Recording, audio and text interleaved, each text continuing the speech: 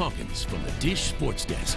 With the rematch of last year's SoCon Championship game against UNC Greensboro on the horizon, the ETSU Buccaneers are trying to avoid getting tripped up by cellar-dwelling VMI tonight. ETSU entering the night unbeaten at home and riding a seven-game win streak, and they were hot from the start. Daivien Williamson to the 10 for the lay-in.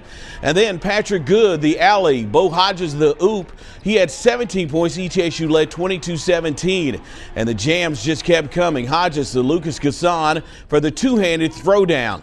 And then off the steal. Tray Boyd taking this one in for the one-handed flush. He had 13. ETSU led 47-33 at the break. Cadets came storming back in the second half. Bucs up 10. Williamson driving in again for two more of his team high 23.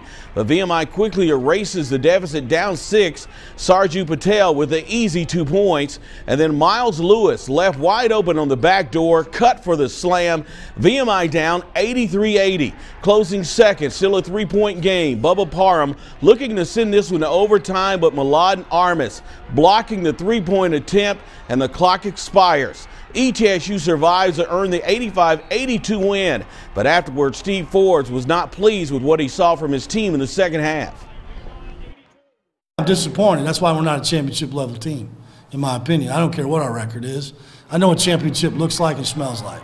And it, they don't smell like that in there right now. And so I told them that after the game. Now, they can easily fix it. I mean, it's not like we got bad chemistry. We don't have internal problems. We just have to fix our mentality. We just lost focus, got off track, started getting lax. That's all. They came back. They never stopped fighting. So that's why they came back. We just don't got the same pop in the second half that we have in the first half, you know what I'm saying? I feel like we got to warm up a little bit harder. Like we're sometimes we're a little bit too goofy and it, and it carries out to the game and things like